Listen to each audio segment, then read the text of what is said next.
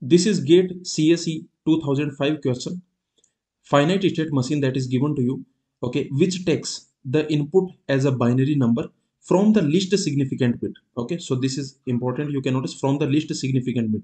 Means the input is actually binary number and you are reading the binary number from least significant bit. Means from right to left you are reading the input okay? So this okay from least significant bit. So basically if your input let's assume let's assume your input string is 0 1 okay 1 1 0 okay this is your input string. Then what you are doing you are reading you are reading this input string from least significant bit. Remember this is most significant bit. This is a least significant bit. So basically the input we are reading from right to left okay. And this machine this finite state machine is given to you. Now first you check is this Mealy machine or Moore machine you can notice this is a Mealy machine because the output actually depends on what is your present state and what is the input that you are reading. In this state Q0, if you read 0, then the output will be 0. In state Q0, if you read 1, then output will be 1. So you can notice actually this is a Mealy machine. Okay, because in the Mealy machine, you can notice that the output, the output actually depends on, okay, what is the output? The output is basically what is your present state and what is the symbol that you are reading and then you will produce the output okay then output will be produced. Okay so this is your Mealy machine. Now this is saying that what this Mealy machine is doing.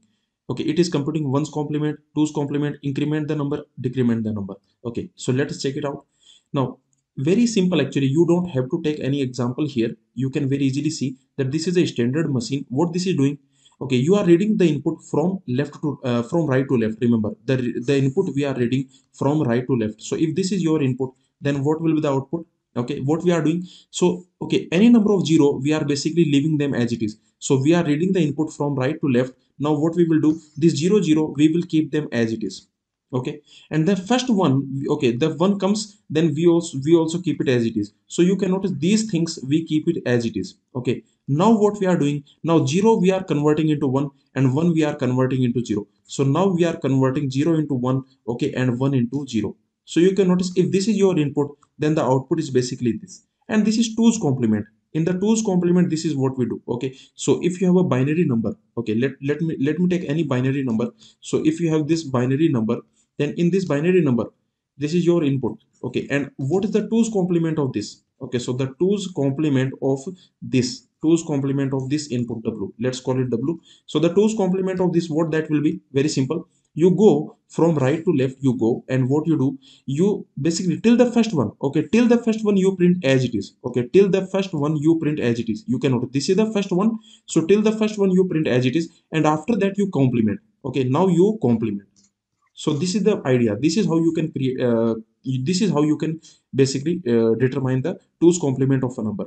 So i can say the answer will be option b. It computes two's complement of the input number remember if this is your input okay then one's complement will be what? Okay so actually one's complement of this input that is very simple. Every zero you make it one every one you make it zero. So here actually one's complement will be actually this. This will be the one's complement.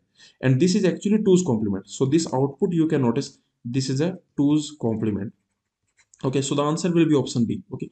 And these all these are actually standard machines. We have already created Mealy machine Moore machine for option a how to create one's complement. We have already seen how to create one's Mealy machine Moore machine. We have we have also seen incrementing the number decrementing the number okay? So basically if you want to find out how to create Mealy machine Moore machine for this option c how to create Mealy machine Moore machine for option d. Basically for all these how to create Mealy machine how to create Moore machine. If you want to find out, then you can uh, find the link in the description. Okay, that in the description of this video, you will find the link. Okay, thank you.